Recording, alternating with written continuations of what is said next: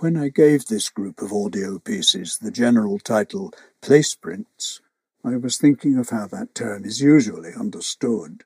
A brief sighting one might have of a moment from the past, somehow printing through into the now. Hidden voices and haunted landscapes are conjured up in ten unique dramatic stories from the imagination of visionary writer David Rudkin. Join a stellar cast including Juliet Stevenson, Toby Jones, Josie Lawrence, and Stephen Rea, among many others, on an enlightening journey across the British Isles with this dramatic audio cycle, produced by New Perspectives Theatre Company, Place Prints. Ten journeys that will transform your sense of the landscape around you.